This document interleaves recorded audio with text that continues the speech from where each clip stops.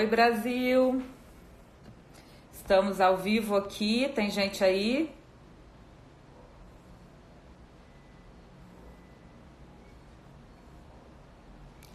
Já tem gente entrando. Estão me ouvindo? Boa noite. Deixa eu ver a Ariana entrando aqui na live. Começamos um pouquinho antes. Ah, deixa eu ver a Ariana. Ei, Simone. A Ariana tá na área? Deixa eu ver a Ariana aqui. Oi, querida. Você consegue me mandar transmitir ao vivo convite, querida? Você vai aceitar. Deixa eu ver aqui. Fernanda Catarino, Mirela Dadalto, Fabrícia, querida, tá ouvindo bem, né? Vamos ver se a Ariana vai receber meu convite aí. Já te mandei o convite, querida. Opa! Oi. Como Oi, vai, Andréia. minha querida? Oi, certo? Tá Tudo certo tudo aí? ótimo. Tá me ouvindo bem? Tudo bem, Andréia. Tudo ótimo, você? graças a Deus. Você tá me ouvindo bem?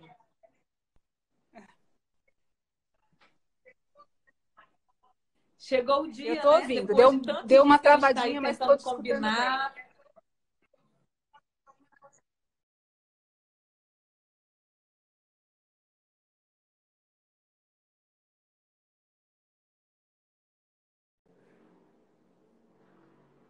Andréia.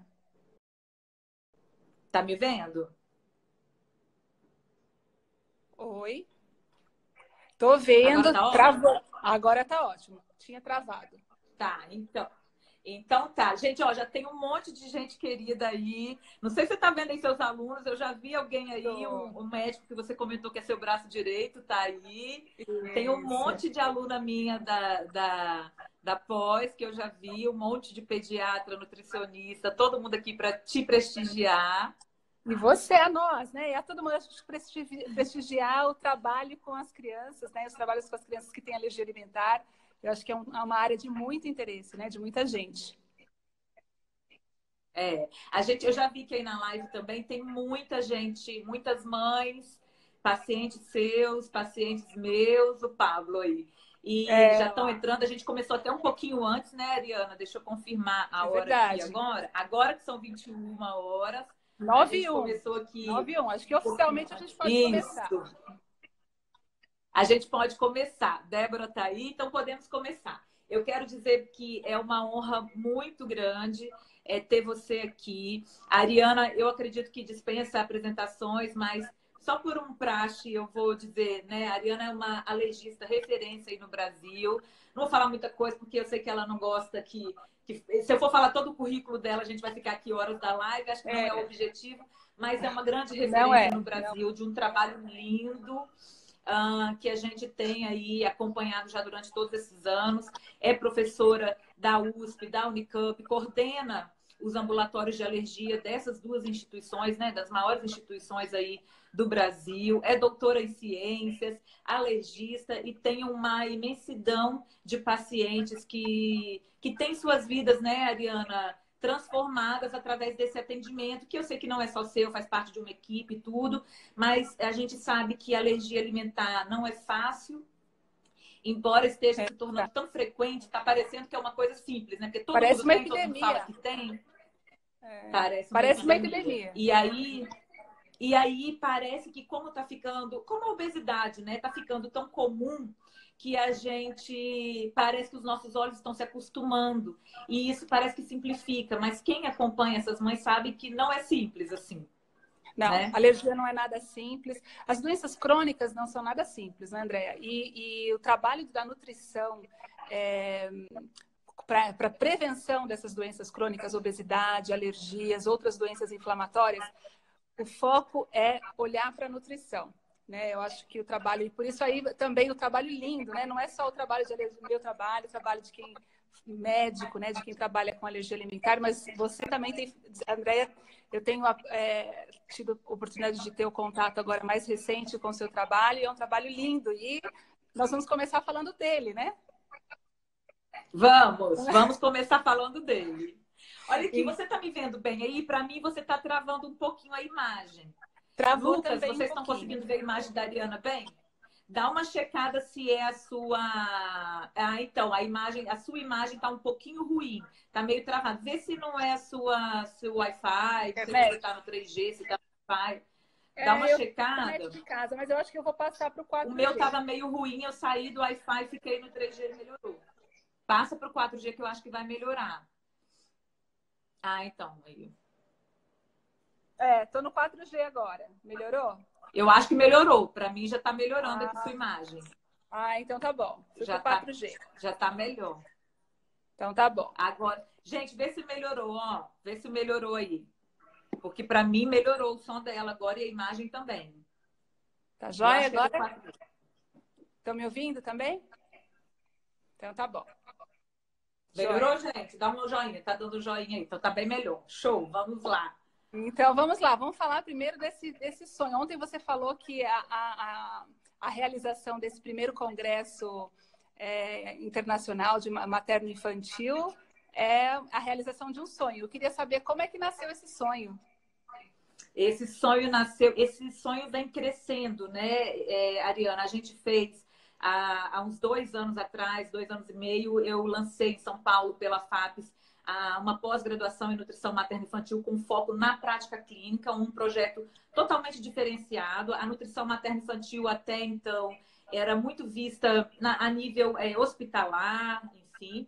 E eu sempre acreditei nessa prevenção, né? Eu sempre acreditei no materno-infantil, na mulher que prepara para engravidar, na gestação, nesse intestino, enfim. E eu queria, eu tinha um sonho de fazer esse curso. O curso aconteceu e, graças a Deus, tem uma legião, eu falo que é um exército de pessoas aí, de profissionais. Ele é aberto para profissionais da saúde, porque, eu, pra, aliás, para nutricionistas e médicos, a gente criou a associação aberta depois para profissionais da saúde e após é nutricionista e médicos. E após, ela foi gerando outras coisas, né? Porque a gente foi unindo um exército de pessoas, de nutricionistas, pediatras, obstetras, com essa visão e aí a gente sentiu a necessidade de criar uma associação. Então, o ano passado, em novembro, nós inauguramos a Associação Brasileira de Nutrição Materno-Infantil, já com a fazer o congresso. A Abrame. Fizemos um lançamento lindo em São Paulo, fizemos um site, começamos a fazer várias ações é, em função disso. Esse congresso, Ariana, é um sonho assim. Eu, eu, já comentei isso com você e as pessoas aqui vão concordar comigo. Eu, quando eu comecei na nutrição materno-infantil, eu sentia muita falta de um congresso que incluísse a nutrição materno-infantil, que fosse exclusivo disso. Então, eu ia em congressos de pediatria que tinham lá duas, três palestras. Eu ia no congresso de alergia que tinham lá duas, três. Então, eu ficava, eu ia nos Estados Unidos, em Boston, em congresso, inúmeros congressos no, no mundo, para poder uh, pegar informações para materno-infantil. Então, eu tinha um envolvimento muito grande. Eu ia sete, oito congressos por ano, que é ótimo, eu, quero, eu continuo indo e quero continuar indo, mas eu não, não via um evento que unificasse tudo, que falasse da gestante, que falasse do preparo para engravidar, que falasse do adolescente, que falasse da alergia, que falasse do obeso, não existia. E eu acho ainda hoje, que eu tenho buscado muito isso na, na internet, que não existe um modelo desse no mundo. Assim, eu não vejo um congresso com essa característica. Uhum. E aí a gente encarou isso, falei, vamos fazer, vamos fazer. E, e, vai vir com tudo, vai ser histórico o primeiro congresso, porque essa realização dessa expectativa, acho que de um, de um Brasil inteiro de profissionais e de todos os profissionais da área da saúde, não só os nutricionistas e médicos, odontopediatras, fonoaudiólogos, farmacêuticos, psicólogos, pedagogos, todo mundo. Então não é só para nutricionista, é para médicos também, não é? Isso, farmacêuticos, psicólogos, fono, os dentistas, odontopediatras, professores de educação física. O objetivo é unir os profissionais da área materno-infantil. Andréia, e eu vejo a, a nutrição materno-infantil de uma forma que, assim como na alergia, tem muitas áreas de atuação, a, a, nutrição materno-infantil tem muitas áreas que demandam, que tem uma demanda de atenção muito específica é, e que existe uma, uma capacitação profissional é, nessas áreas. O Congresso vai atender todas, é, todas essas áreas da nutrição materno-infantil? Vai, vai. Você falou perfeitamente. No, no, inclusive, a gente posta muito sobre isso na Brame, porque a nutrição materno-infantil é muito ampla.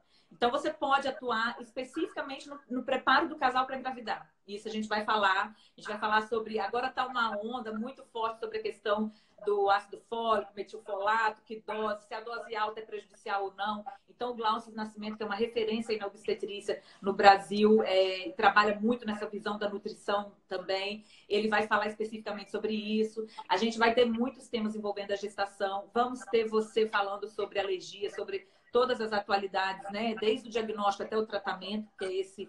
Depois você vai falar um pouquinho mais da sua palestra. Vamos falar de obesidade infantil, vamos falar de criança atleta. Ariana, você imagina, criança atleta é um nicho, é uma sub-área muito específica. Porque a gente quer envolver as crianças no atletismo, né? A gente quer envolver Sim. as crianças. A gente quer envolver as crianças na, nas Olimpíadas. Então, essa criança pode tomar whey protein? Pode ser qualquer um? É, porque a criança numa fase de desenvolvimento, as necessidades são completamente diferentes, né? E exige com certeza uma atenção especial. Exatamente. A gente vai ter uma palestra muito legal com a Alexandre Aguiar, que além de ser um nutricionista incrível, ele é químico, então ele sabe tudo de bioquímica, tudo de fisiologia, ele é incrível. E o Ale vai falar sobre, exatamente sobre a adolescência. O que está acontecendo com os adolescentes que, tá que está trazendo aquelas doenças que iam acontecer lá com 70 anos para a adolescência. Então, ele vai falar de fisiopatologia, ele vai falar sobre bioquímica do adolescente, que é uma área incrível também. Incrível. Incrível. Muito legal. Eu tô, tô ansiosa para a chegada do Congresso. Estava ansiosa para a live e agora estou ansiosa para o Congresso, Andréa. Então, Imagina a gente o Congresso promete.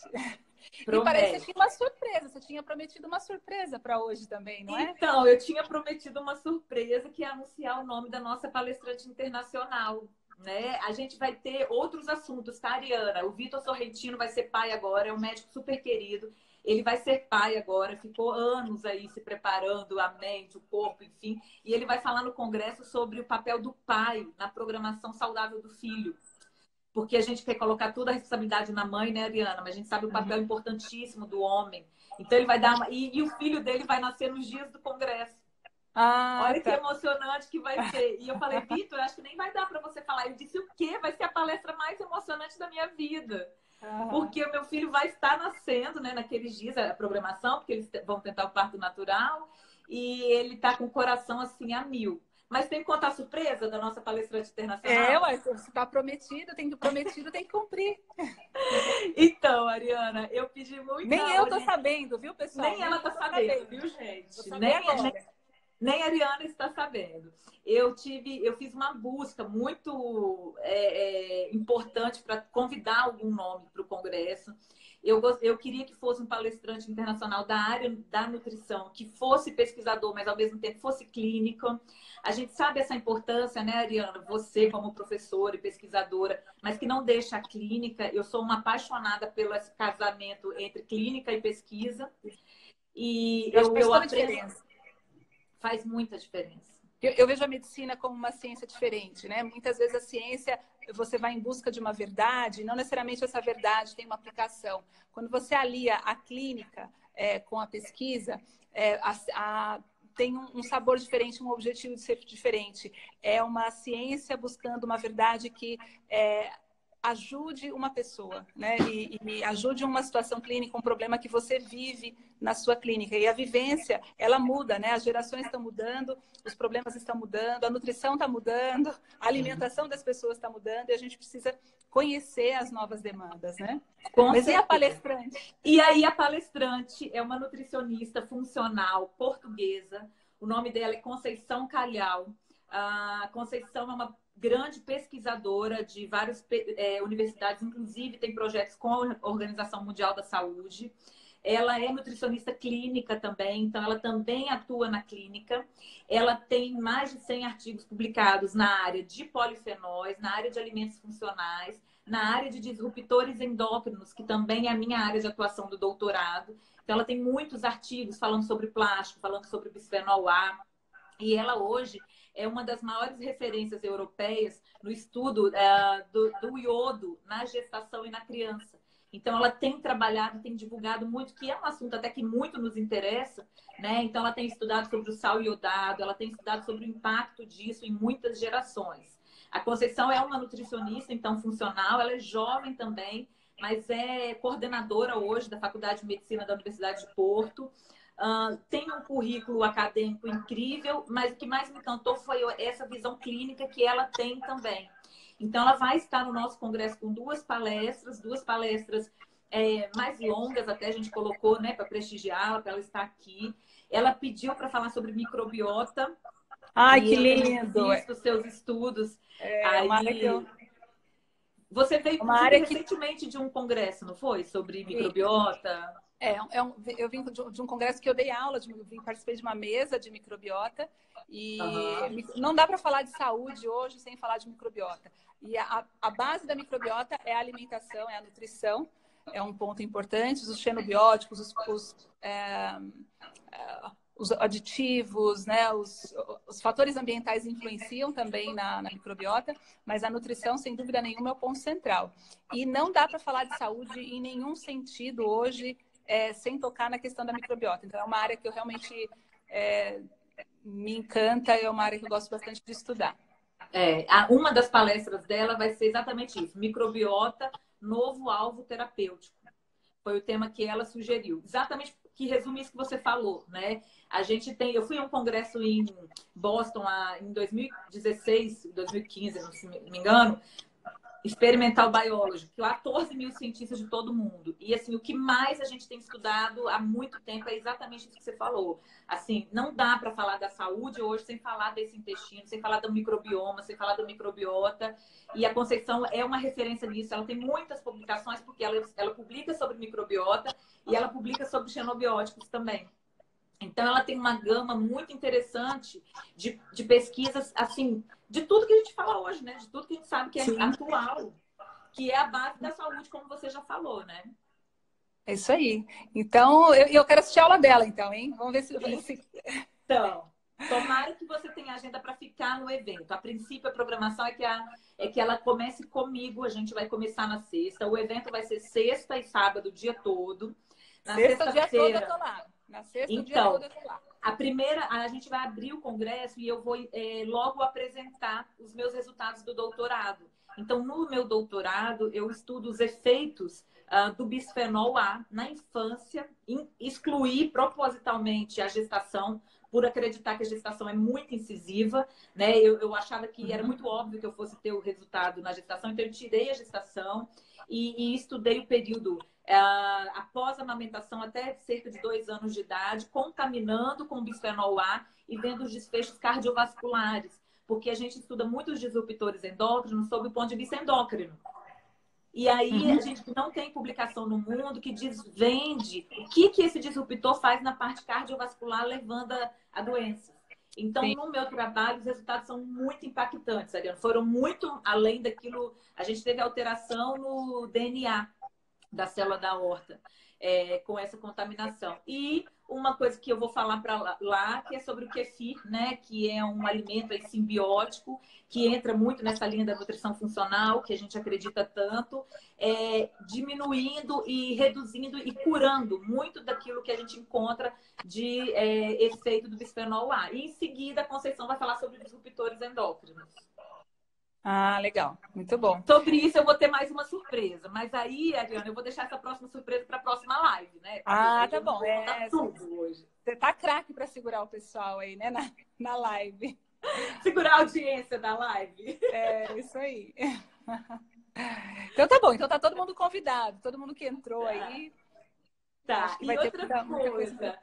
A gente vai ter um pré-congresso. Não sei se você está sabendo, mas na quinta tarde a gente vai ter um pré-congresso sobre o, acompanhamento integral da criança e da família com síndrome de Down. Vai ser ah, com a equipe do Elo 21. A coordenadora é a Carla Pinto, uma geneticista incrível. A Sandra Mata, que é uma nutricionista sensacional que trabalha lá também. Eles têm um trabalho incrível, eles têm um trabalho que de cunho social e também privado. Eu conheço a instituição deles, eles têm livros, publicações, e eles vão levar toda a equipe deles para mostrar como eles fazem o acompanhamento integral. O médico, a nutricionista, a fono, o dentista, o personal, fisioterapeuta, todo mundo integrado para o desenvolvimento dessa criança. Essa foi uma das áreas que nos aproximou, né? Que é essa visão da, do, do trabalho multidisciplinar interdisciplinar que eu acho que faz toda a diferença no atendimento do paciente. Eu tenho tido experiência com, de trabalhar junto com nutricionista, fono, é, psicóloga, e faz muita diferença nos pacientes, inclusive nos pacientes que têm alergia alimentar ou suspeita de alergia alimentar. Então, qualquer que seja a área, síndrome de Down, alergia alimentar, o trabalho interdisciplinar, ele é transformador e muito melhor. É, eu falo que sozinho a gente pode até ser muito bom, mas juntos a gente é muito melhor. Muito melhor. E Quem muito melhor com isso é o paciente. Quem ganha com isso é o paciente, exatamente. E, e, eu queria falar o seguinte: quem se inscreveu para o Congresso, quem não se inscreveu ainda, se inscreva logo. Graças a Deus, o Congresso está tá muito cheio. A gente superou todas as expectativas que a gente tinha de inscrições. É, quem quer se inscrever, é só entrar no site abrame.com.br, aliás, não tem BR barra congresso, joga no Google, entra no Insta da Abrame, que vocês vão ver tudo lá. É, tem que se inscrever para o congresso e em seguida para o pré-congresso, porque só pode participar no pré-congresso quem estiver inscrito no congresso, obviamente. E aí se inscrevam logo, porque a gente não tem muitas vagas mais. E principalmente o pré-congresso, que as vagas são bem limitadas. Então, quem está interessado, a gente tem 36 dias aí para o evento. Vai ser no Maxud Plaza, em São Paulo. Ali você já foi em congresso lá, porque o girassol acontecia no Maxud? Sim, era no Maxud. Não, então, não, não, era no Matsubara. Matsubara. Exatamente, mas tem muitos congressos por ali naquela região. É, Na rua, tem muita gente que vai de fora, né, Ariana? A gente tem gente do Brasil todo, se eu não me engano, temos até alguns, alguns participantes que vêm de outros países. Uh, e, e, ali naquela rua, perto do hotel do, do, onde vai ser o evento, tem muitos hotéis. Então a gente ainda tem 36 dias. Quem for de fora, se organiza para se inscrever logo, comprar passagem e ir. E pode ficar ali próximo, porque tem muita, muito hotel e é muito fácil, né? O acesso ali naquela é, região, né, Muito fácil. Tem metrô, é, é realmente é uma, uma região muito. está muito bem localizado muito estratégica. E eu queria contar uma notícia que eu não posso esquecer, eu coloquei aqui em highlights para não esquecer, que é. no Congresso, o Congresso vai ser na Semana Mundial de Aleitamento Materno, que é essa primeira semana de agosto. E é óbvio que a gente vai falar muito sobre isso. Moisés que vai estar lá. Eu apoio o leite materno. Moisés vai levar todas as atualidades uh, sobre esse tema. Esse tema não vai ser falado só na palestra dele, vai ser falado em todas as outras, né, Ariana? Porque a gente fala é, tudo, a gente fala não dá falar, Não dá para falar de alergia alimentar, prevenção, sem falar de aleitamento. Exatamente. Então a gente vai estar lá com essa bandeira e eu acho que não foi anunciado ainda, então as pessoas não sabem que lá a gente vai ter uma sala para congressista que amamenta. Então, as mães que vão estar, porque materno infantil que mais tem é pediatra que acabou de ganhar bebê, nutricionista materno infantil que acabou de ganhar bebê. Então, vocês podem ir e podem levar os bebês de vocês. Se vocês tiverem um acompanhante, um marido, alguém para acompanhar essa criança, a gente vai ver algum, alguma credencial para eles poderem ter acesso a essa salinha para levar a criança. E a mãe vai ter um espaço especial para ela amamentar o filho durante o evento. Pensou então, em tudo, hein, Andréia? Pensamos em tudo, Ariana. Tudo. E temos mais novidades que eu vou deixar para anunciar nas próximas lives. Mas eu falei, gente, a gente não pode deixar, né? Às vezes a mãe pensa, ah, mas meu bebê tá, tá amamentando. Leva o bebê, não tem problema. Obviamente não vão levar o bebezinho recém-nascido, mas os bebês maiores, as crianças maiores que já estão saindo e que podem estar nesse tipo de lugar, eu acho que vai ser incrível. Eu quero ver um monte de bebê lá mamando. Ah, legal, muito bom. E você tem mais alguma dúvida sobre o congresso para a gente deixar? Eu acho que é, eu acho que as, as, surpresas prometidas já foram, já foram anunciadas. Né? Eu acho é. que está claro, né? Vamos guardar as outras com você aí para a próxima live. Isso, para a próxima. Só deixar o recado para ninguém deixar para a última hora, porque brasileiro gosta de deixar as coisas para cima da hora, né, Ariana? É, ah, na última pode, semana não. eu me inscrevo. E a gente realmente acredita que as vagas vão esgotar, vão se esgotar. Então, todo mundo que já sabe que vai, eu falo assim, é uma oportunidade histórica, única, assim, porque nunca houve na história esse congresso aqui, é, com tudo tão pronto e tão preparado para gente, com tanto amor e com temas tão importantes. Então, acho que não dá para perder, porque às vezes a pessoa, ah, ano que vem eu vou, ano que vem é outro congresso. Né? Vai ter o segundo? Vai, mas aquela, aquela história do primeiro já passou. E a gente tem que ter muita sabedoria para não deixar as grandes oportunidades da vida passarem, né, Ariane? É verdade. E, e, realmente eu acho que a programação, pelo que você contou aí, e, e uma área muito importante, acho que não dá para perder. Não dá, não dá. E aí eu quero convidar você agora para falar sobre a sua área, sobre a alergia. Eu vou fazer a primeira pergunta. Para mim não estão subindo muitas perguntas aqui. Eu não sei se está um pouquinho travado. Mas para mim travou. Travou, travou? Nome, travou aqui na, no nome de, Nutra, na, de Carla. Daniel. Para mim é. apareceu Joyce e Daniel. Depois deu uma travada. É, para mim tá travada. A, a, sua imagem tá travada, o, Andréia, para mim. Para mim tá tudo bem aqui. A sua tá indo bem, tô te vendo é. super bem. Não sei se é a sua internet. Eu vou pedir o pessoal para ir mandando. É, tô vendo tá aqui bom. o Lucas falando que o congresso completíssimo, reunindo os melhores com o que há de mais atual. A Grazi falando que quem não for ao congresso vai perder.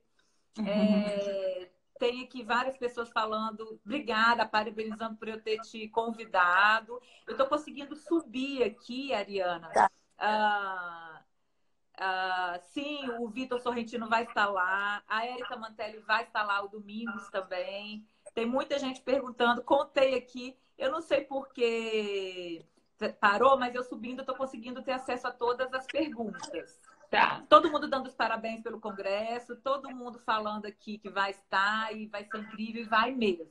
Eu vou perguntar a você, Ariana, então eu vou começar com a minha pergunta e vou tá vendo aqui as perguntas deles e a gente vai. E vocês vão mandando, gente, as perguntas para ver se volta a subir aqui para mim. Não sei se fui eu que parei, mas eu estou conseguindo subir e recuperar aqui as perguntinhas.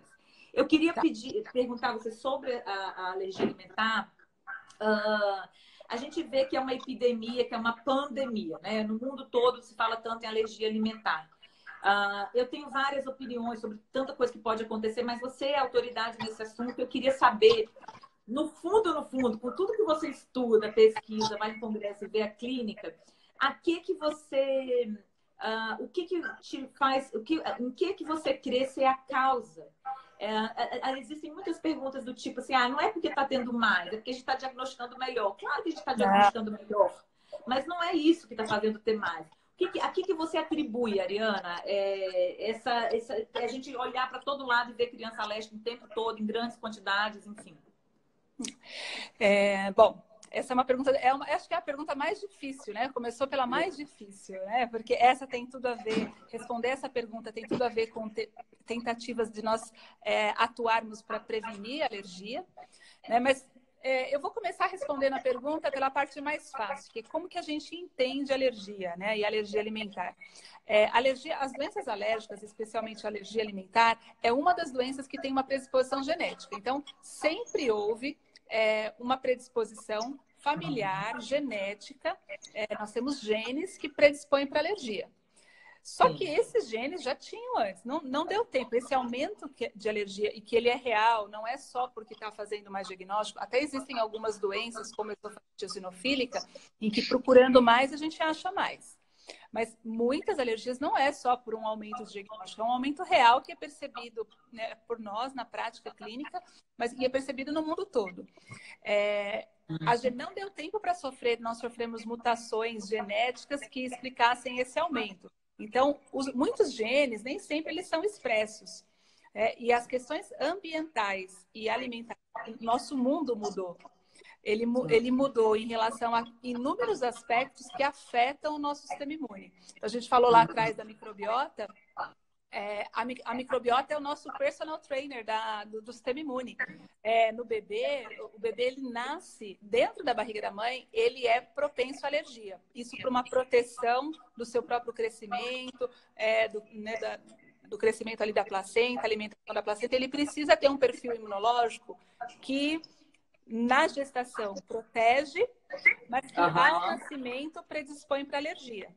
Uhum. Ele precisa depois de um treinamento para se adaptar ao mundo exterior. E esse treinamento, uhum. quem faz é um professor, é um personal trainer muito é, que precisa ser muito é, bem equilibrado, que é a microbiota. E a uhum. microbiota, por sua vez, tem, é, é, influenciada por fatores ambientais e alimentares, muito é, o, o, lado, é, o aspecto nutricional e a alimentação que mudou muito nos últimos, é, nas últimas décadas, né? É, com alimentos muito processados, ultraprocessados. É, hoje, então, a gente precisaria resgatar a questão da comida de verdade.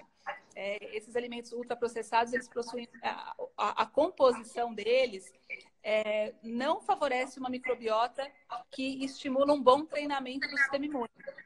Então, uhum. esse é um aspecto, o aspecto nutricional, interferindo na, é, na microbiota, e fatores ambientais também, que aí vão desde vitamina D, é, uhum. é, a, a, própria atividade física, exposição, é, exposição a poluentes, poluição, é, agrotóxicos usados nos alimentos, uma série de fatores influenciam é, aqueles que serão os, os mecanismos de regulação do nosso sistema imune. O nosso sistema imune ele é um intérprete, ele é um intérprete do que está acontecendo é, no nosso meio externo e no meio interno, para regular e poder exercer a sua função primordial, que é defesa. Para ele saber contra o que ele tem, tem que se defender, ele tem que aprender duas lições ele precisa olhar para o que é próprio, olhar para as próprias células e reconhecer como próprias e falar: não, isso aqui tudo bem, é meu, não preciso reagir.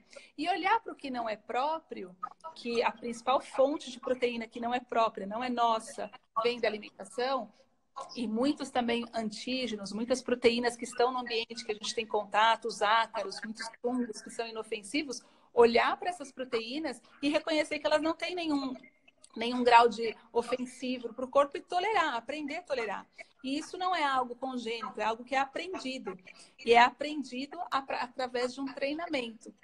E para nós termos um bom treinamento, nós precisamos ter uma vida, uma alimentação saudável, hábitos saudáveis, dormir, ter exposição solar, ter um mínimo de atividade física, fazer tudo que a gente já sabia que, que tinha que fazer, mas que na prática muitas vezes a gente vê que nem sempre é seguido é, pela população.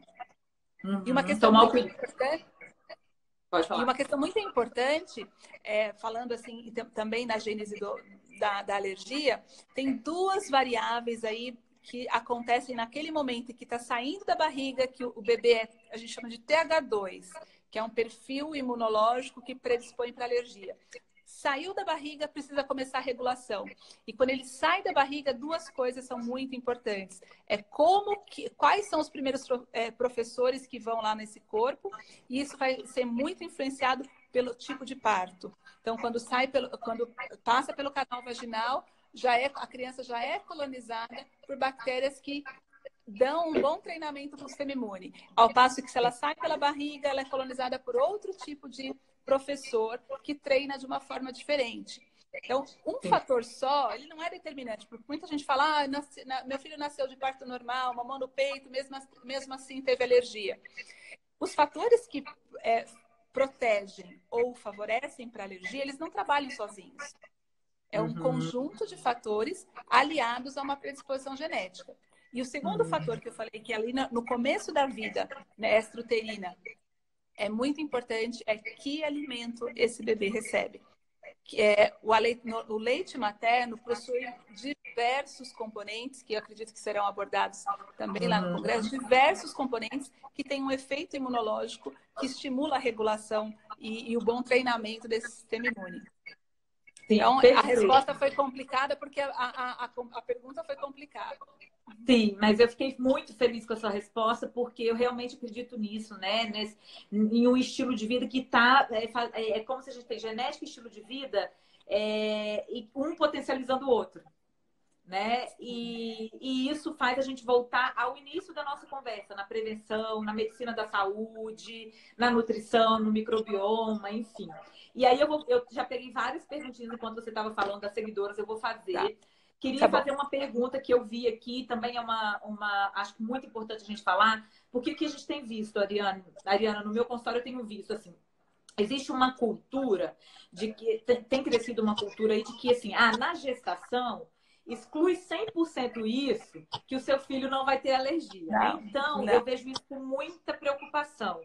Uh, então, eu tenho no meu consultório mães que foram orientadas na gestação eu recebo já a criança alérgica.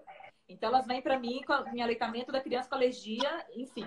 E aí vem na amamentação, né? Para fazer uma dieta pensando nisso. E aí ela falou, não, é porque na gestação, eu passei a gestação toda, a mãe não era alérgica, mas ela passou toda a gestação excluindo 100%, por exemplo, o leite de vaca e o trigo que é o mais comum que eu vejo na minha prática clínica. Sim. E é aí, o que, o que, que essas mães fazem que muito me preocupa? No momento que elas tiram o leite de vaca e o trigo, elas começam a comer muitos ovos por dia e elas começam a comer muitas oleaginosas. Então elas começam a tomar muitos leites vegetais, inclui a oleaginosa, come um ovo aqui, come, às vezes come três, quatro, cinco, seis ovos no dia. E isso talvez eu esteja falando uma grande bobagem, você vai me corrigir, porque você é a nossa referência nisso. E o que, que eu pego no consultório muitas vezes? Essas crianças alérgicas ao leite, ao ovo e às oleaginosas. Então, às vezes, eu tenho uma sensação de que talvez esse movimento de muito medo da PLV e de todas essas promessas estão fazendo pior, porque estão fazendo eles serem APLV e alergia múltipla. Existe uma percepção sobre isso? É, excluir previne alguma coisa? Não. Excluir é, dieta na gestação. É, é bom fazer dieta na gestação? É, se, se, a dieta não era boa, é bom fazer uma dieta saudável. Comer saudável. É, comer saudável. Então, a gestante, é, aquela regulação, aquela programação que começa para predispor não só alergia, mas uma série de doenças crônicas que a criança é, tem um, pode ter um potencial para desenvolver na sua vida, tudo isso começa na gestação. E, uhum. então, a saúde da gestante, ela tem que ser muito bem cuidada e a alimentação da gestante é muito importante. Um dos fatores é, que tem se mostrado relacionado ao aumento das alergias é a diminuição de, de consumo de ômega, por exemplo. Né? As gestantes têm diminuição de consumo de peixe, que é um dos alimentos mais alergênicos. Então, não é para diminuir o consumo em relação a esse alimento específico, já mostrou que aumenta mais o risco de alergia. E nenhum estudo conseguiu comprovar que dieta na gestação ou na amamentação, como estratégia de prevenção, é eficiente. Pelo contrário, a dieta de restrição pode trazer consequências nutricionais é, negativas para a mãe e para o bebê. Então, não é recomendado, eu não recomendo, e não é recomendado que se faça é, restrição preventiva. O medo, o medo é uma coisa comum, é, é, uma, é um com esse aumento de alergia, principalmente as mães que já tiveram um filho com alergia, essas mães especialmente têm muito medo de que o segundo filho tenha alergia. E eu falo que o medo ele, ele deve nos deixar só em alerta, em, situação de atenção, para a gente buscar o melhor caminho. Mas o medo não pode paralisar. E a restrição, na verdade, é uma paralisia motivada pelo medo. Não é baseado em, nenhuma, é, em nenhum estudo, em nenhuma evidência que justifique fazer restrição. Aham. Uhum. Tá, e aí também foi muito interessante você falar no, você falar no ômega, porque a gente vê, né, tem muitos estudos mostrando a necessidade da suplementação do ômega na gestação. É, é difícil também a mulher comer tanto peixe. A gente hoje, no nosso país, especialmente, em muitos lugares do mundo, mas no Brasil, a gente tem um problema sério com a questão da contaminação dos, dos peixes, né? E agora, cada vez mais, com todas essas catástrofes acontecendo, né, ambientais. Então, é, na minha palestra, eu vou falar um pouco sobre isso. Nessa outra novidade que eu vou contar no Congresso, esse lançamento, eu falo bastante sobre isso, sobre o plástico nos oceanos, enfim. Mas fica um alerta, e aí é assunto para outra live, não dá para a gente falar tá aqui, mas sobre a necessidade dessa atenção à mulher porque muitas mulheres na gestação vão precisar ser suplementadas, e aí tem que ser feito também com muita consciência. É, não é para fazer megadose de nada, como também não é para faltar nada. E aí esse acompanhamento do nutricionista materno-infantil com o obstetra integrado para poder fazer a suplementação adequada de acordo com a necessidade de cada uma, né, Ariana? Porque talvez também vão ter as mães que já são alérgicas, e aí essas vão ser, ter que ser cuidadas de forma especial na gestação. É, eu acho que esse é um ponto importante que tudo em, é, é, ele deve ser individualizado. Condutas que são generalizadas, em geral, é, não estão certas. É, a, o, o cuidado, a atenção, principalmente em alergia, tudo tem que ser individualizado. As necessidades, elas mudam conforme é, a, a, realidade de, de, cada paciente, de acordo com as comorbidades. Os pacientes alérgicos é comum eles terem outras alergias. Então, a atenção é, para o paciente, ela, ela precisa ser individualizada. Sim, eu vou agora te fazer uma pergunta de uma mãe que eu tô, peguei aqui, ó. Ariana, o nome da mãe acho que é Lizzie, Liza, alguma coisa tá assim. É, minha filha tem sete anos, é F-Paz e uma criança atópica. Por que, que está tão difícil chegar na tolerância? Ela reage a traços e contato. Sou mega alérgica, mãe. Isso pode ser a razão? É, é, difícil a gente responder assim de forma individual. Como eu falei é, anteriormente, a avaliação ela precisa ser individualizada. FPAS, é. só para quem não, né, de repente, tem não alguém sabe. É, não sabe, FPAS é, é uma sigla que quer dizer Síndrome da Enterocolite Induzida por Proteína Alimentar, né, traduzido do, do inglês para o português. É, a, a FPAS é uma das formas de alergia não IgE mediada, é, que acomete principalmente lactentes, e das, só que das formas não intermediadas, realmente é a que tem um desenvolvimento de para tolerância, para cura, a mais demorada, a que pode ser mais demorada. Mas, em geral, não demora mais do que 3, 4 anos de idade. Quando é, sintomas, principalmente numa criança que tem outros sinais de atopia, né, de doença alérgica, é, se ela tem outros sinais de atopia, se os sintomas estão persistindo para além dos 3, 4 anos de idade, é importante ah. uma avaliação individualizada, porque outras comorbidades podem estar gerando esses sintomas. Então, a, a, consulta aí vale uma, uma, uma avaliação individualizada. É. Tá. E tem uma outra pergunta também que eu achei interessante. É possível a criança ter a PLV e não ter nenhuma reação ao leite materno, mesmo a mãe tendo em sua dieta alimento contendo leite? O bebê pode ser a PLV e não reagir se a mãe comer? Com certeza, isso é muito comum. Nem toda nutriz, nem toda mãe que amamenta é, e tem um filho com alergia ao leite, nem todas precisam fazer restrição alimentar.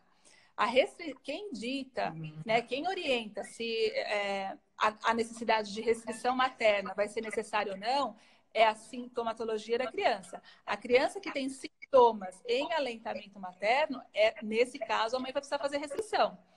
É, nas alergias IgE mediadas, que são mais graves, até tem risco maior, nesses, é, nos quadros IgE mediados, raramente os sintomas surgem durante o aleitamento materno exclusivo. Já nas uhum. alergias não IgE mediadas, é mais comum nós observarmos os sintomas surgirem ainda durante o aleitamento materno exclusivo. E, portanto, essas mães terão, precisarão fazer a dieta. Mas não é uma, é, não é uma verdade que é, para todas as mães há necessidade da restrição. Por isso que a gente vê, às vezes, no consultório, aquela criança que não sangrou nas fezes, a mãe consome, mas às vezes ela não consome tanto leite, mas ela come um derivado de vez em quando. E aí você olha para aquela criança, ela é um pouquinho atópica, ela tem uns sinais, enfim, e fica aquela coisa, é alergia, não é alergia. Por isso que a equipe multiprofissional é tão importante, né, Ariana? É para fazer a alimentação adequada dessa mulher. É, e, e, a restrição, a restrição, ela é um, a restrição alimentar de qualquer alimento, é, eu falo que é um custo. Né? Você tem um custo que você vai precisar ajustar para saber se você precisa pagar esse preço ou não, né? Mas é um preço que se paga fazer a restrição. E a mãe que não precisa não deve fazer a restrição. Uhum. É, tem, eu acho também, Ariana, que a alergia ensina muito a gente sobre a questão do comportamento alimentar. Porque quando a gente fala assim que não precisa fazer restrição, não quer dizer que é para ela comer só aquilo a vida inteira dela. Porque as pessoas Sim. têm isso na cabeça, principalmente mãe aleitamento materno.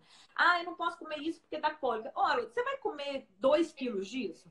Ou você vai ter uma alimentação completamente variada. Eu falo para as minhas pacientes, desde quando elas vão para engravidar, a alimentação repetitiva, se eu estiver errado, você me corrija eu uhum. acho que a alimentação repetitiva, é monótona, é inflamatória para o organismo. Você não dá de estímulo diferente para esse intestino. Mesmo que seja saudável, você, você concorda? Ah. Então, é, eu acho que assim, o, o, o, problema, eu acho que muito que tem muito hoje com esse aumento das tanto das alergias quanto das intolerâncias alimentares é que começou a se criminalizar o alimento. E o problema não é o alimento, né? Os alimentos estão aí para nós é, usufruirmos deles, os alimentos de verdade, né? Não estou falando de comida de, de verdade. Comida, é, comida de verdade. É, a comida de verdade, ela é boa, não tem comida do mal, comida do bem. As comidas são do bem. Uhum. E, e, você tocou num ponto que é muito importante, que a gente, se a gente resgatar lá a questão da microbiota, um aspecto fundamental para aquele é, personal trainer, a gente vai fazer, vai fazer uma malhação, vai na academia. Se você malhar só o bíceps, vai ficar com um bíceps enorme. Exatamente. Então, você precisa estimular todas as populações que você pode e você precisa, então, de uma biodiversidade. Biodiversidade uhum. na microbiota, você tem que ter é, bichinhos comendo de tudo. Então, a, o problema do alimento não é o alimento em si, não é o leite, não é o glúten, não é a lactose, mas é, não é o peixe, não é a oleaginosa, mas é o comportamento alimentar. Então, um comportamento alimentar, uma dieta monótona, ou muito restrita, ou muito repetitiva, sem variedade, isso é um comportamento alimentar que não, que, que não favorece a microbiota, não favorecendo microbiota saudável, não favorece, predispõe, é, predispõe a doenças inflamatórias crônicas. Exatamente. Tem tanta pergunta incrível aqui, Ariana, que assim, eu estou vigiando o tempo, porque a gente não pode passar de uma hora que senão cai. Tem um aqui tá que eu achei muito interessante. Eu amo trabalhar com prematuro, né? Eu trabalhei como enfermeira em UTIs neonatais 10 anos, então eu sou apaixonada por prematuro. E aí tem aqui, ó, a Nina pergunta, doutora Ariana, o prematuro tardio com a alimentação complementar, né? O prematuro que teve a introdução alimentar tardia, sendo feita somente na idade corrigida e não aos seis meses de vida, vai ter maior probabilidade de desenvolver uma alergia alimentar por esse fato? É, bom, então, em relação à introdução de sólidos, né, a introdução da alimentação complementar para o lactente, independente se prematuro ou de termo. É, esse momento, ele não é, não existe uma regra da idade, que a idade, não, ele não é dado pela idade, mas o desenvolvimento da criança, de, de uma, ele, ele acontece de forma coordenada e conjunta. É, o a gente vê o desenvolvimento motor, desenvolvimento neurológico, desenvolvimento imunológico acontece em paralelo. E nós buscamos para identificar a idade ideal para fazer a introdução é, alimentar, mais importante do que a idade, né, a idade corrigida do prematuro, é você buscar sinais de que essa criança está pronta para comer. E ela dá sinais, ela senta, ela demonstra interesse para comer, é, muitas já começa a é, ter os dentinhos na boca. E isso acontece por volta é, entre 5 e 6 meses de, de vida, às vezes 7 meses. Então, não, não precisa ficar preocupada porque é um prematuro e vai, vai introduzir na idade corrigida. É, esse prematuro acompanhe e busque os sinais de maturidade, desenvolvimento neuropsicomotor, é, mostrando que essa criança já está pronta para comer, já mostra os sinais né, que ela já, já tem as habilidades para comer e pode fazer a introdução. O que, é. E não precisa ficar preocupado, porque, assim, atrasar, se você atrasa, faz uma idade corrigida e vai entrar, introduzir com sete meses ou com oito meses que seja, é, fazendo a correção da, da prematuridade, é, isso em si não é um risco. O que os estudos mostraram é que aquela conduta antiga que nós tínhamos até uns cerca de uns 10 anos atrás, que era retardar após uhum. um a introdução dos mais alergênicos, é essa prática que tem mostrado o aumento do risco. Você tá. introduzir antes de um ano, você está introduzindo dentro de um limite que você não, a princípio, dentro do que a gente tem no estudo hoje, a gente não precisaria ficar preocupado com o aumento de risco. É. é acho que elas estão perguntando por conta dessa história da janela imunológica entre seis e dez meses, enfim. E eu, eu queria, enquanto você estava falando, fiquei pensando assim, a gente tem que pensar que corpo humano não é matemática. Esses estudos, eles mostram para a gente, existe uma janela de oportunidades, mas o prematuro, ele é um organismo que foi que tá, que nasceu no momento que era para ele ainda estar dentro do útero. Então toda essa fisiologia vai estar adaptada para isso. Então e a gente vai pesando os prós e os contras, né, Ariana? Não, eu não Sim. vou começar antes na idade cronológica e colocar essa criança em risco porque foi muito precoce, porque ele não tinha maturidade nenhuma, só para não perder a janela imunológica. Não existe isso. Não. Até porque não. o metabolismo dele muda também. Então é todo um contexto. O prematuro tem que ser olhado individualmente. Claro que tem prematuro limítrofe que às vezes nem tem esse impacto. Mas um prematuro mais extremo, como ela deve ter perguntado, eu acho que essa que é a preocupação dela. É, não, mas aí acho que tem que olhar o conjunto. Né? A gente não pode. Hoje, com esse aumento das doenças alérgicas nas crianças, o olhar ficou é, muito assim muito dirigido num foco só.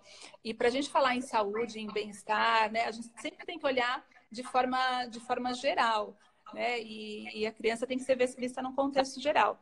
Tá? Então, antes de um ano, não é tarde. Tá. E eu queria falar também, tem muita gente perguntando sobre ômega. Se, ah, até que mês eu devo tomar? Gente, o ômega na gestação, e aí eu vou fazer esse parênteses, tem muitos consensos já, inclusive brasileiro, na Abram, lançou já, 2016, se eu não me engano, 2014, um consenso, recomendando que toda grávida brasileira seja é, suplementada com ômega, com DHA é, durante toda a gestação e todo o aleitamento materno. Porque elas estão perguntando assim, até que mês eu tomo?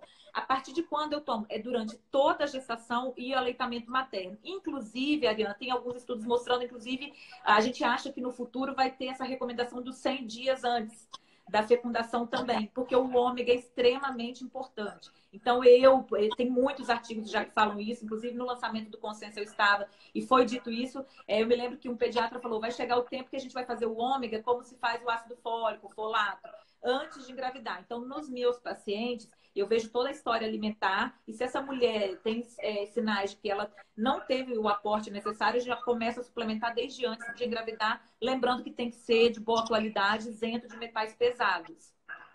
Tá. tá? André, agora eu posso fazer uma pergunta para você? Pode, claro, até duas. Porque eu fiquei com dúvida. Ô, Andréia, eu como muito peixe, eu fiquei com medo dessa história do bisfenol aí. Não dá para você adiantar um pouquinho? dá para eu adiantar uma coisa. Então, olha, Ariana, eu, eu fico, é um assunto assim, que teria que ter uma live para falar disso. Mas eu, eu estudo contaminação ambiental. Então, a pessoa que estuda contaminação ambiental, ela já tem isso em mente, assim, é, existe um sofrimento e eu tenho muito cuidado em não passar isso para as pessoas, porque é muito triste. O que está acontecendo com a gente hoje, em termos de contaminação ambiental, é que a gente está recebendo de volta aquilo que a gente está fazendo com o planeta. Isso é um fato. Então, a gente tem aí uma previsão, uma expectativa real, se a gente continuar colocando plástico nos mares, e isso, isso é estudo mesmo que, que tem mostrado, se a gente continuar colocando plástico no mar como a gente tem colocado, em 2050 a gente pode ter mais plástico no mar do que peixes. Uh, eu, eu sou de uma linha de pesquisa da Universidade Federal do Espírito Santo. Eu, a minha linha, a gente estuda fisiologia. É, na minha linha de pesquisa, a gente estuda sobre. Uh, eu estudo bisfenol A. Mas eu tenho outras colegas que estudam, por exemplo, é, um, um contaminante, o TBT, por exemplo, que é um contaminante da tinta do casco dos navios. Então, a gente vê que existe muita poluição e ambiental mesmo, e que os peixes têm sido cada vez mais contaminados. Então, como eu entro nessa linha de que você deve comer de tudo um pouco, eu acho que a gente não deve só comer peixe ou comer. E aí a gente deve buscar, sim, a procedência. Mas quando eu, falo assim nas minhas palestras, Adriana, está chegando um ponto, eu tenho estudado tanto, que tem gente que fala assim, doutora, essa é a pergunta clássica no consultório. É, qual peixe é melhor eu consumir? Às vezes eu tenho vontade de falar assim, olha, pega, pega qualquer um, faz uma oração e pede a Deus para te. Ah, então eu vou fazer isso, Andréia. Porque eu como peixe no restaurante. Então, então eu acho que a gente tem que tomar muito cuidado, né? Por exemplo, o salmão mesmo, que a gente às vezes recomenda. Tem até questão da grávida, se come peixe cru ou não, eu acho que não deve consumir. Mas a grávida que come muito salmão, por exemplo, a contaminação pelo mercúrio. Então, assim, os peixes criados em cativeiro, a ração, muitas vezes transgênica. Então, assim, esse é um universo sofrível, assim, sofrido, sabe, Adriana? A gente que estuda isso. E essa novidade aí que eu vou anunciar em breve do Congresso fala exatamente sobre isso, numa linguagem muito simples. Eu acho que está dando spoiler aqui, um monte de gente vai desconfiar, mas ainda não vou confirmar. Mas tá. uma linguagem muito acessível traz, porque eu falo isso lá na UFES também. A gente é pesquisador, fica na bancada do laboratório pesquisando dia e noite durante anos, mestrado e doutorado, né? É uma vida difícil, assim. É, e às vezes a gente não faz isso. A gente tem um monte de artigo publicado no PubMed, mas o consumidor final, o nosso cliente, às vezes não tem acesso. Então, uma das coisas que eu tenho feito, e esse trabalho que eu pretendo colocar lá, é, é traduzir numa linguagem simples o que está acontecendo na contaminação ambiental e chamar as pessoas para essa responsabilidade, Ariana, que a responsabilidade é de todos nós, né? É, é verdade. A minha filha já aboliu, a, a minha filha foi responsável por abolir canudo aqui em casa. Então, ninguém usa Exato. canudo quando vai em restaurante. Exatamente. A gente tem que levantar essa bandeira, a gente tem que, se for usar, tem que usar o de inox ou de outro material. Tem sido lançado muito agora no mercado algumas opções é, biodegradáveis. Tem, eu vou falar um pouco sobre isso no congresso, mas assim, tá. a gente tem que tomar muito cuidado até com o tipo de material que está sendo feito, porque o que, que a indústria faz? Ela tira isso que a ciência mostrou que é ruim e põe isso, mas isso a ciência está estudando ainda. Tá. Então, daqui a pouco a ciência mostra que isso também fazia mal. É o caso, por exemplo, do bisfenol, é, do BPA free. Então, tem muita gente que acha que BPA free está fazendo muita vantagem, quando na verdade a gente deveria é excluir ou evitar ao máximo o plástico. Porque um plástico tem bisfenol A, mas a indústria faz o quê? Tira o A, que todo mundo sabe que, que, que leva inúmeras doenças, e coloca o S, coloca o, o Z, tá. Coloca o AF. Então, você tem outros bisfenóis que são tão tóxicos quanto, e alguns já saindo estudos mostrando que talvez sejam mais, Ariana. Piores. Então, a gente, a gente tem que ver que, assim, às vezes levam anos. Eu estou há três anos para publicar o meu artigo agora. Né? Então, nesses anos todos, a indústria está jogando aí. Então, é aquilo, é voltar à, à, origem, é trocar o plástico pelo vidro, é pensar, esse plástico é fundamental para mim ou não é? Sacolinha, Ariana, não teve a lei aí há um tempo é. atrás, todo mundo começou a usar sacola retornável, e vem a indústria com o interesse dela. Não, eu tenho que vender sacola. E a gente cai como um peixinho, né? Voltamos a usar sacola. Mas é, é. são os nossos filhos que vão pagar essa conta. Eles já estão pagando, né? É verdade. Gente, vamos ter que encerrar a live, será? Vamos fazer a última pergunta? Para a tá Ariana, tinha uma pergunta aí da, da Cláudia Antunes. É, só que eu perdi, Cláudia, a sua, a sua pergunta. Mas foi alguma coisa no sentido de que, ah, sim, ela perguntou se a fórmula precoce, essa infeliz dessa mamadeira que é dada na maternidade, às vezes sem a mãe nem saber, é, se isso aumenta a chance de alergia e quando é, tem que ser dado de fato. A criança está em hipoglicemia, porque, na minha opinião, Ariana, me corrija se estiver errada, a, a, o complemento na, na maternidade apenas se a criança estiver em risco por uma hipoglicemia. Senão, Sim. que a gente precisa ter equipe que apoie essa mãe para ela amamentar. Exato. Então, é a pergunta, se a fórmula. Exatamente, porque eu fui enfermeira de maternidade, eu sei é. bem como é.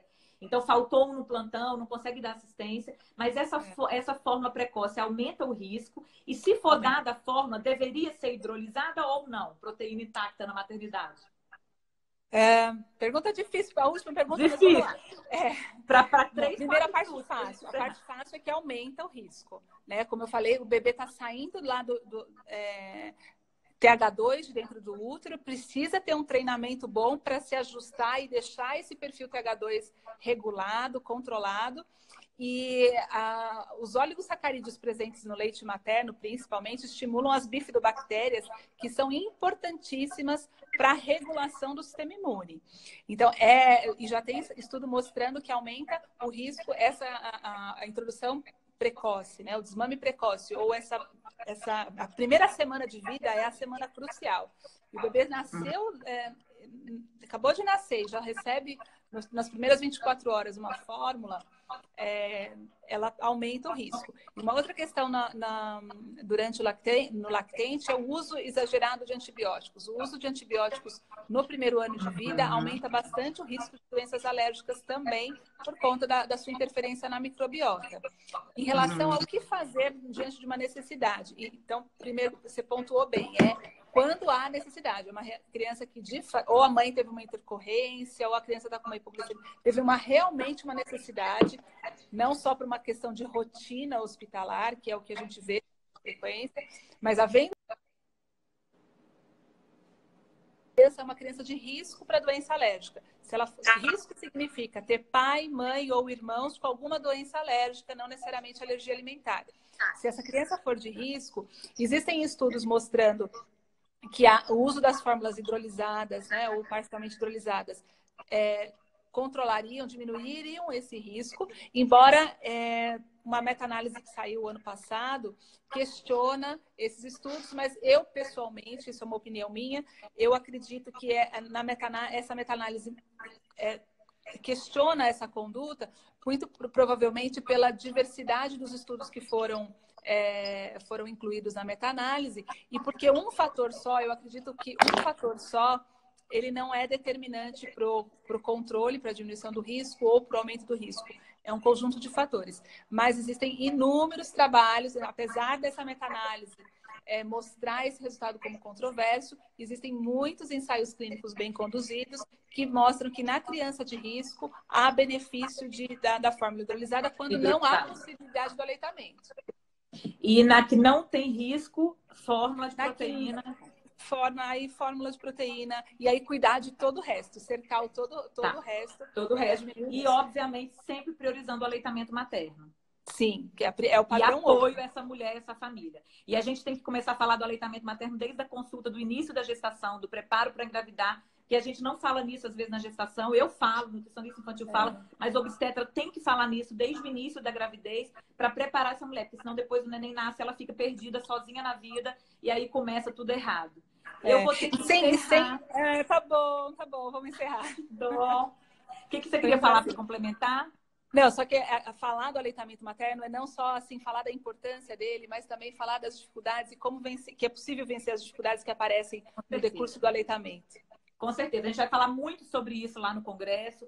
Glaucio, todo mundo, vários palestrantes do Congresso estão aqui. Eu vou deixar a live salva no meu Instagram, Um super beijo para todo mundo. Todo mundo entra é, abrame.com e se inscreva para garantir logo, porque as vagas vão se esgotar. Depois eu vou deixar o link para vocês aqui no Stories. Ariana, quero te agradecer muito. Foi um prazer, foi uma, uma benção ter você na minha vida nesse momento.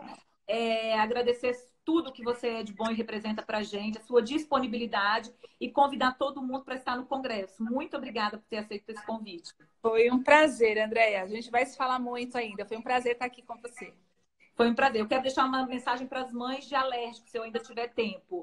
Coloquem o olhar de vocês no que vocês têm e não na dificuldade. Não é fácil ser mãe de alérgico, são muitos desafios. E às vezes a gente fica assim, ah, a gente só fica focado naquilo que a gente deixa de comer, naquilo que a gente não pode. Mas você deixou de comer uma, duas, três coisas, mas você tem uma infinidade. E coloque isso na cabeça do seu filho. Eu fiz isso com meu filho caçula. Ele falava, eu não posso tomar leite, mas eu posso comer isso, eu posso comer bananinha, eu posso comer inhame, eu posso fazer... Então, o que a gente pode é muito maior do que aquilo que é transitório, né, Ariana? Deixar é, eu falo isso também. Eu falo isso também. Não olhar para o que não pode. Olha o que pode e você vai surpreender quanta coisa pode. E fazer dessa oportunidade uma oportunidade